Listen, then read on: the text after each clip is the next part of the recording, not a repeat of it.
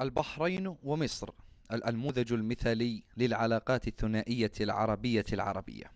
واليوم يتجدد نفس العلاقة بزيارة تاريخية التقى خلالها جلالة العاهل المفدى حفظه الله بأخيه فخامة الرئيس عبد الفتاح السيسي رئيس جمهورية مصر العربية من أجل فتح آفاق أرحب للعلاقات بمزيد من التشاور والتنسيق.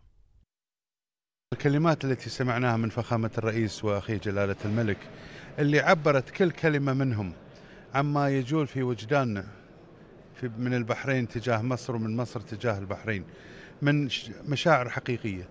وأقول لك أن حتى هذه الكلمات لن تغطي أبدا ما في نفوسنا من مشاعر.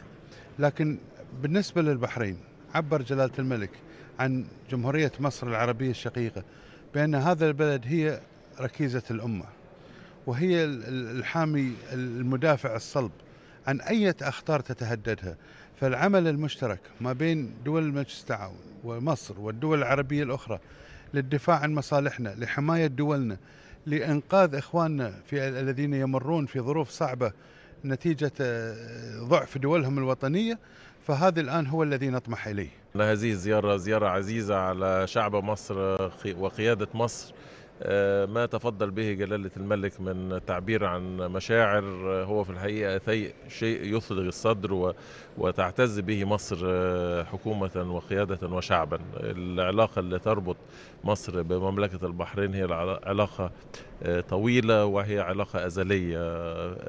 تتسم بالإخلاص والإدراك لما نستطيع أن نفعله سويا وأننا دعم لبعضنا البعض ونعتمد على ما نوليه من اهتمام ومن رعاية لمصالحنا المشتركة. قائمة من الاتفاقيات ومذكرات التفاهم والبرامج التنفيذية تدخل حيز التعاون بين البلدين الشقيقين وأطالت كافة المجالات ناهيك عن قائمة اقتصادية وتجارية أخرى من الاتفاقيات وقعت على هامش الزيارة من شأنها أن تبني لمستقبل أفضل للبلدين. الاتفاقية اللي وقعتها تشرفت بتوقيعها هي في مجال السياحة. وتخص في المقام الأول التعاون في الخبرات السياحية والتدريب في مجال السياحة بشكل عام. أيضا صباح اليوم وفي المنتدى الاقتصادي البحريني المصري تم توقيع 14 اتفاقية تجارية بين أعضاء القطاع الخاص من الجانبين البحريني والمصري تطرقت إلى عدة مواضيع منها التعاون منها تأسيس مشاريع مشتركة ومنها تبادل الخبرات ومذكرات تفاهم للتصنيع في البحرين وفي مصر.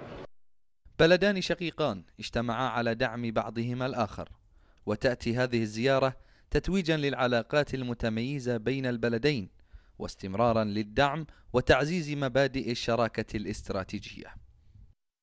رؤية موحدة وعلاقة راسخة بين البلدين الشقيقين.